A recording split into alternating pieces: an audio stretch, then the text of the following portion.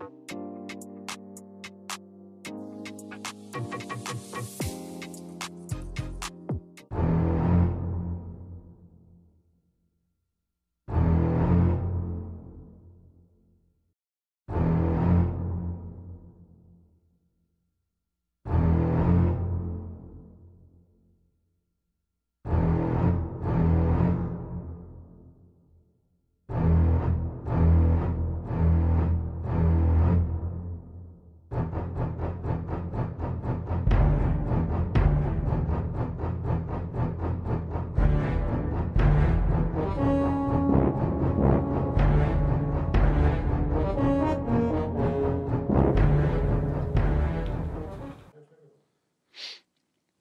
Ej, ziomek!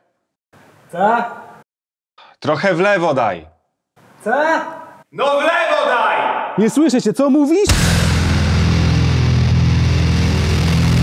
Cześć, witajcie na kanale CTG TV, ja nie jestem Stefan. A ja Andrzej.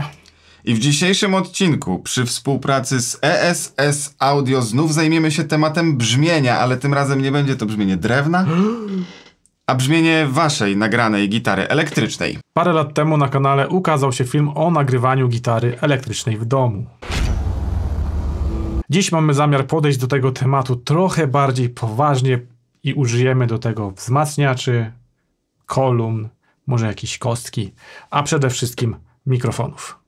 I na tym ostatnim elemencie się właśnie skupimy. Nie na mikrofonie samym w sobie, ale na tym, jak go wykorzystać i co zrobić, żeby dobrze omikrofonować kolumnę gitarową. Nie ma tutaj co prawda żadnych sztywnych zasad, ale od czegoś musimy zacząć, więc zacznijmy od mikrofonu. Do nagrywania gitary elektrycznej, a w zasadzie do zbierania brzmienia powstającego w kolumnie gitarowej używa się różnych mikrofonów. Podstawowe typy to mikrofon dynamiczny, pojemnościowy i wstęgowy. Każdy z tych mikrofonów ma swoje wady i zalety. Każdego z nich możecie użyć w różnych sytuacjach i uzyskacie różne rodzaje brzmienia. Ale zasadniczo nie jest to film o rodzajach mikrofonów. Jeżeli chcielibyście taki film, dajcie znać. Naszym dzisiejszym mikrofonem reprezentatywnym będzie dostarczony przez partnera odcinka Austrian Audio OC18. Mikrofon pojemnościowy o charakterystyce kardioidalnej. Jego pasmo przenoszenia to od 20 Hz do 20 kHz. Mikrofon oferuje tłumik minus 10 i minus 20 dB oraz filtr górnoprzepustowy, który możemy ustawić na 40, 80 i 160 Hz. Cały zestaw, w skład w którego wchodzi uchwyt montażowy oraz koszyczek antywstrząsowy, przyjeżdża w praktycznej walizeczce, więc o transport i przechowywanie tego cuda martwić się nie musicie. Ale do rzeczy. Większość rzeczy postaramy się wytłumaczyć na chłopski rozum, co chcąc nie chcąc wymusza na nas uproszczenia.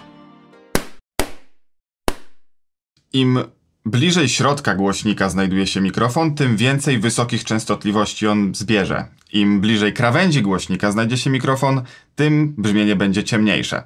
Ale to nie jest jedyna płaszczyzna, po której możemy się poruszać, bo możemy się jeszcze od tego głośnika odsunąć. Istnieje coś takiego jak efekt zbliżeniowy.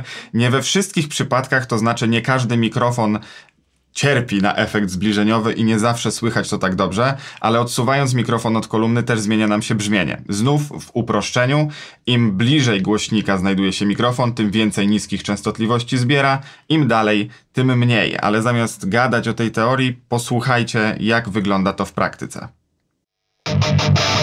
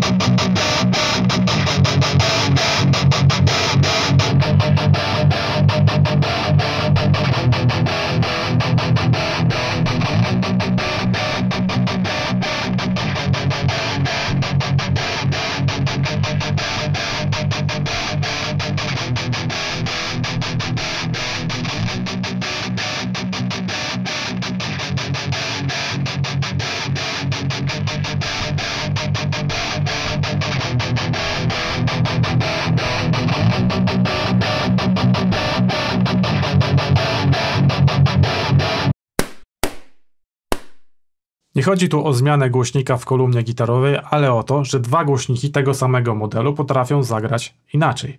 Nie zagłębiając się w szczegóły i w zużycie materiałów i tak dalej i dalej, sprawdzimy to po prostu w naszym przypadku i wybierzemy ten głośnik, który zagrał dla nas, a może i też dla Was, lepiej.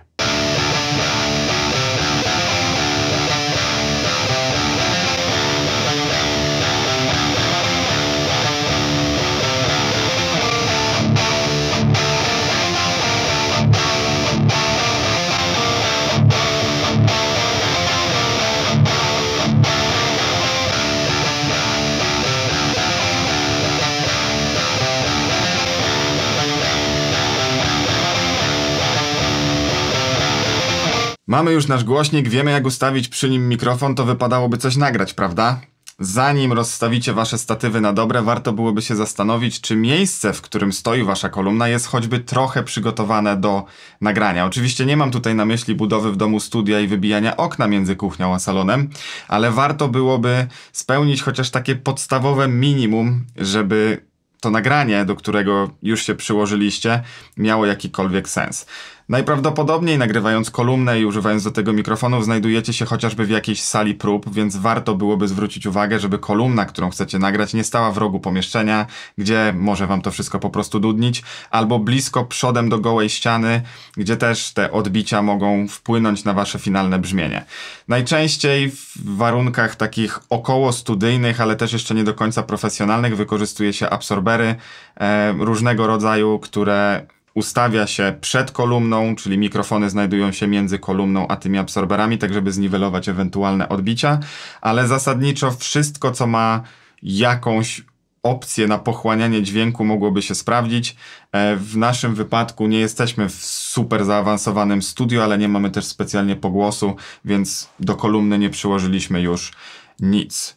Zasadniczo na początek, jak chcecie spróbować dopiero zobaczyć, jak to działa i przyłożyć pierwszy w życiu mikrofon do pierwszej w życiu kolumny, to póki nie robicie tego na klatce schodowej, to powinno być ok. Ustawimy teraz mikrofon w miejscu, gdzie zabrzmią dla nas najlepiej i posłuchajcie sobie, jak to brzmi. Ale pamiętajcie, maczeta nie ma kanału czystego.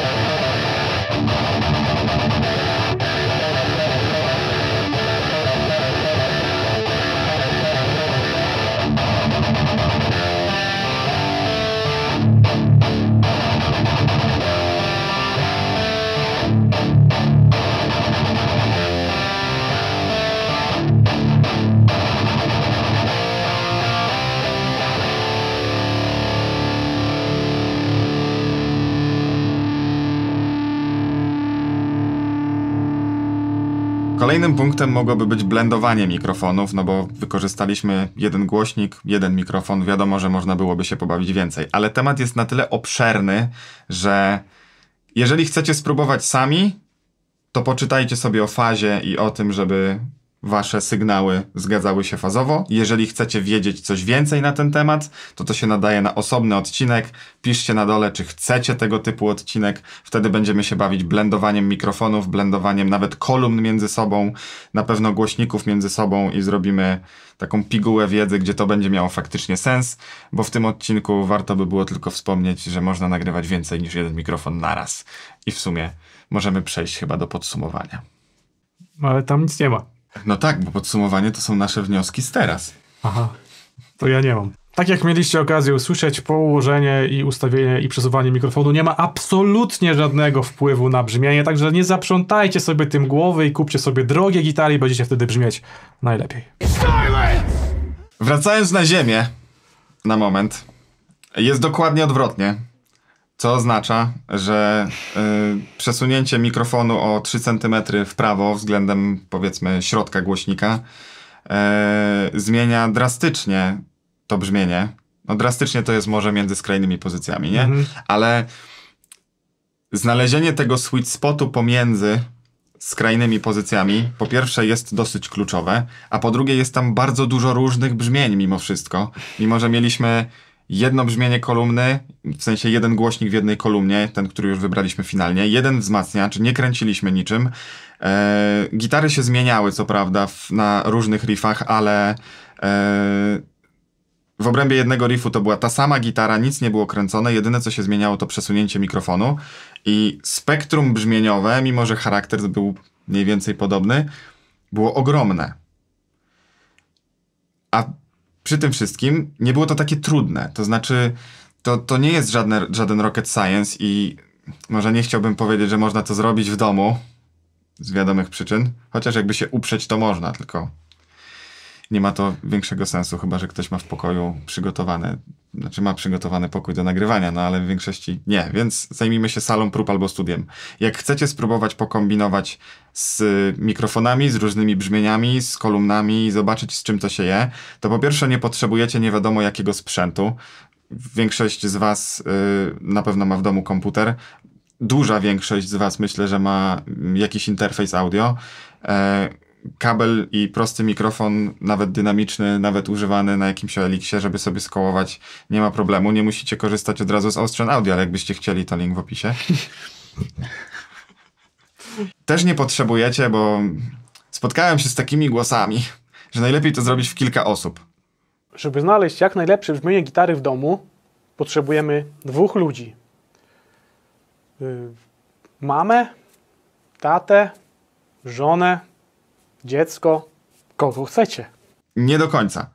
Nagrajcie sobie pierwszą próbkę w środek głośnika, drugą próbkę skrajnie. Będziecie znać już spektrum. Wiecie, co macie na początku i na końcu jakby tej drogi, którą możecie e, wykonać mikrofonem e, przed głośnikiem i albo równie dobrze możecie to zrobić po prostu na środku głośnika i sobie zadecydować po nagraniu tej próbki, czy chcecie jaśniej, czy ciemniej.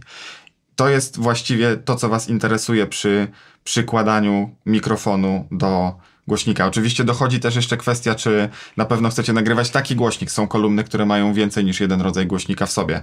Jak już wybraliście ten konkretny, z których macie, może dojść teraz kwestia, czy ten mikrofon, czy może jednak coś innego, ale to jest już zupełnie inny temat. Samo nagranie y, paczki gitarowej mikrofonem jest relatywnie proste i postępując według tych trzech właściwie kroków, które wam przedstawiliśmy, jesteście w stanie to bez żadnego problemu zrobić i sprawdzić, czy może będziecie chcieli się w to zagłębić bardziej, może dojdzie do tego, że kupicie kolejny mikrofon, a może okaże się, że wasza kolumna w pokoju, grając próbę, czy po prostu grając sobie tako jest ok, ale na nagraniu już nie brzmi najlepiej. I mieliśmy taki przypadek, tak właśnie moje, mój MGM grał na V30. E, w pokoju było spoko, jak podłożyliśmy mikrofon też było mniej spoko. E, no i, no i to chyba tyle. Cóż więcej dodać? Już dokładnie wiecie, jak nie skopać brzmienia. Nie kopcie brzmienia, Nie kopcie bo to się brzmienia. źle kończy. Źle się kończy. Ja już nie mam nic do dodania od siebie, także dzięki wielkie za uwagę. Tak, zostawcie jakąś łapę w górę, ewentualnie dwie, dwie w dół. Dwie dwu. Będziemy wdzięczni za subskrypcję kanału. Tak. Jeżeli wam się podobało, to możecie nas wesprzeć. Dziękujemy ESS Audio za podesłanie mikrofonów do testów, bo jak już widzieliście, to jest to trzeci mikrofon, który pokazujemy na kanale. Tak jest. I co? I widzimy się w kolejnych odcinkach na kanale. CTG TV. Adios. Adios.